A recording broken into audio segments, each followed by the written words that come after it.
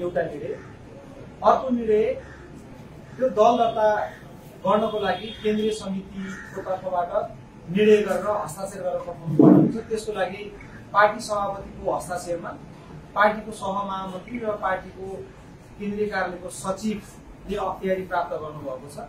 र भोलिसम्म दल दर्ता गर्ने प्रयोजनको लागि अरू प्रक्रियाहरू अगाडि बढाएका छौँ। तेस्रो चाहिँ पार्टीको तर्फबाट उम्मेद्वार हुनेको मनोनयन दिने जुन पत्र हुन्छ त्यसको लागि पनि हस्ताक्षर गर्नुपर्नेछ र त्यसको लागि हस्ताक्षर गर्ने अख्तियारी चाहिँ पार्टीका सभापति रवि लामिछानेलाई केन्द्रीय समितिले प्रदान गरेको छ।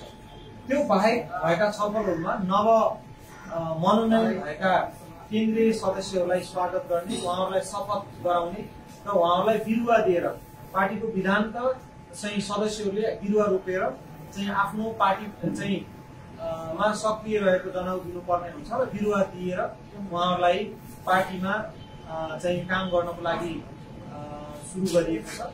आजको बैठकमा यिनै छलफलहरू भएर यो सँगैसँगै अहिलेको राजनीतिक घटनाक्रमको बारेमा पनि पार्टी सभापतिले अपडेट गराउनु भयो त्यसमा अहिले दलहरूसँग भएका छलफलहरू विशेष गरी राष्ट्रपतिको निर्वाचन केन्द्रित हामीलाई नेकपा एमालेको तर्फबाट पनि पत्र प्राप्त भएको छ कि उहाँको उम्मेद्वार जो राष्ट्रपतिको उम्मेद्वार हुनुहुन्छ सुभाष चन्द्र नेवाल उहाँको लागि मत माग्दै एउटा पत्र प्राप्त भएको छ भने त्यस्तै आठ दलीय गठबन्धनको तर्फबाट राष्ट्रपतिको उम्मेद्वार रामचन्द्र पौडेल पार्टी सभापतिलाई भेटेर नै मत माग्नु भएको छ। यी कुराहरूमा ब्रिफिङ भयो।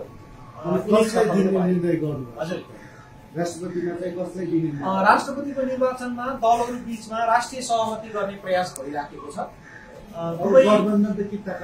दुवै तर्फमा तर्फबाट राष्ट्रिय सहमति गर्ने प्रयास भइराखेको र उम्मेद्वारले उम्मेदवारी फिर्ता गर्ने समय पनि बाँकी रहेको कारणले गर्दाखेरि हामीले त्यो विषयमा के गर्ने भन्ने निर्णय गरेका छैनौँ। पहिला यो क्रम सकियोस्। दलहरूले अथवा चाहिँ उम्मेद्वारहरूले आफ्नो उम्मेदवारी फिर्ता लिने समय र राष्ट्रिय एकताको राष्ट्रिय सहमतिको जुन प्रयासको समय सकिसके पछाडि आवश्यकता अनुसार दलको बैठक बसेर निर्णय गर्ने सहमति जस्तै नेकपा एमाले अहिले भर्खरै सरकारबाट आफ्नो मन्त्रीहरूलाई फिर्ता बोलाउँदै समर्थन पनि फिर्ता लिनुभएको छ। राष्ट्रपालको सरकारबाट त बाहिरिसकेको छ तबसम्म पुग्ने ठाउँ छ यस विषयमा केही निर्णय गर्नुभयो? हामीले यो सङ्केत देखेको कारणले नै योभन्दा अगाडिकै बैठकबाट हामी सरकारबाट बाहिरिने निर्णय गरेका हौँ।